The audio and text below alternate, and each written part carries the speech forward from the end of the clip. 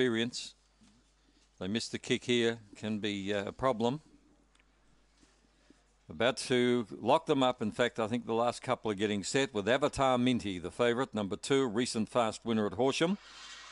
The uh, bogey is it's never been around this track. Here they go.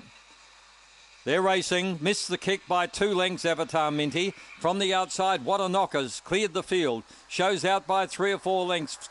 Second is Rumbling Moment. Around the outside, going forward is Kalani Sheldon. Getting up on the fence, Kudos.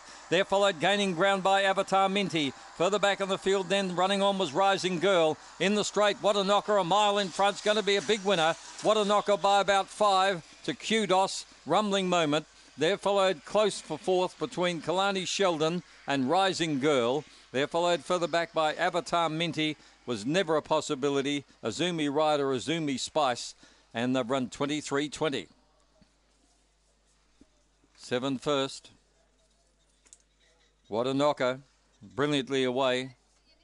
And has carved out good time. 23 23, 7 6. Four gets third, rumbling moment. And fourth is number five, Rising Girl. So your numbers are 7645, 7645, What a Knocker,